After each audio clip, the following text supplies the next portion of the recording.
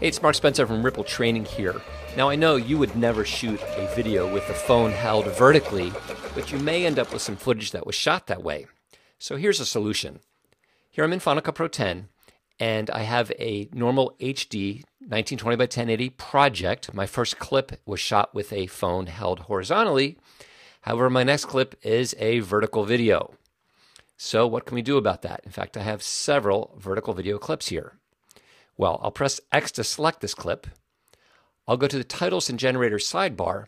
And once you've installed our RT Vertical Video plugin, it'll show up in this custom category. I'll select it and press Q. And there we go. We have a solution. I'll play through that. So by default, we get a nice blurred background that fills out the rest of the frame. There are some parameters you can control in the Titles Inspector you can change the background type from the default of video to color or drop zone, and I'll come back to those in a minute. Uh, but we can go and change the position. So if I drag in Y, we can move it up or down to choose a different portion to reveal in the background there. I'll undo that. We can change the scale also if we want to scale it up or down. And we can change its blurriness, make it clear or make it very blurry. We can make it a little brighter or a little dimmer.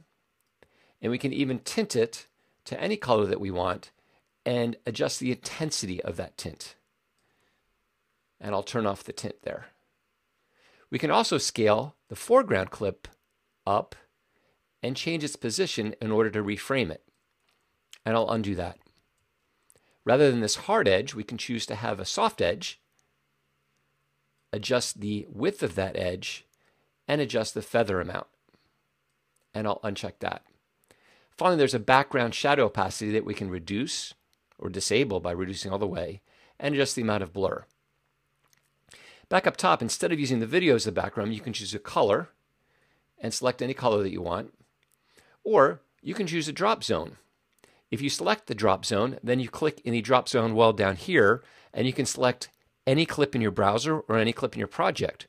For example, I have a still frame over here of this project. By just pressing Option F, I made a still frame of it. So what I can do is click on the drop source well, and then click on the still frame, and click Apply Clip, and now I have a still frame behind the video.